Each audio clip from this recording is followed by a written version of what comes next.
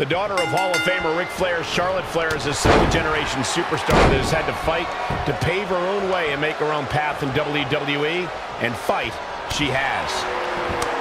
And what about Nikki Cross? what about Nikki Cross?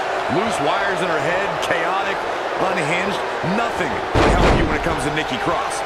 Except for maybe a priest. Oh, did you hear the impact?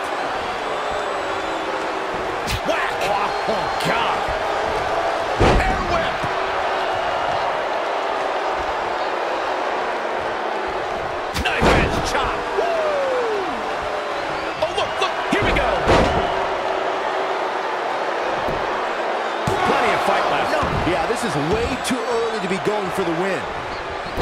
Oh, what a counter. Nikki Cross is always talking about wanting to play with her fellow WWE superstars. She's in the ring with one of them now.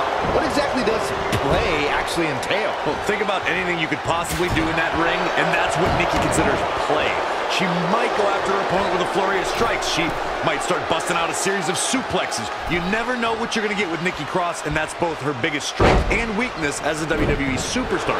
It could truly go either way with her.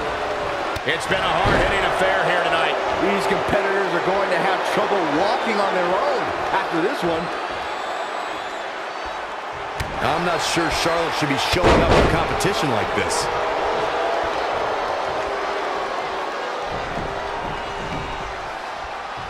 Drop kick! Great athleticism. Ooh, well-planted knee. Ouch!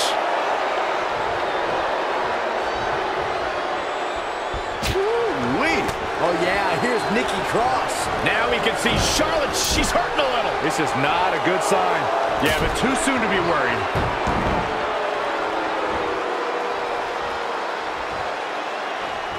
Masterful maneuver by Nikki Cross. Big time clothesline. Good grief. Stomping down.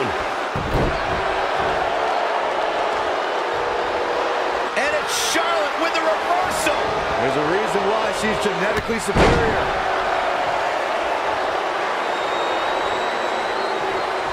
Ooh, what a slap. Oh, here we go. Snap suplex, very effective.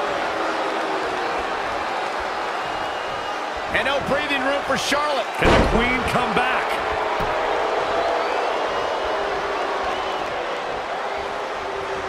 Look at this. Beautiful Northern Lights suplex. The beginning of the end. Not what she was looking for. Oh, a chop. Natural selection. She can end it here.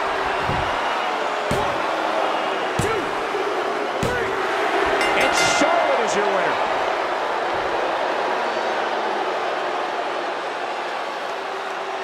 Here's where Nikki lost it.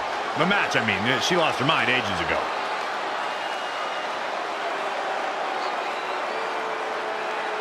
Here is your winner, Charlotte Flair!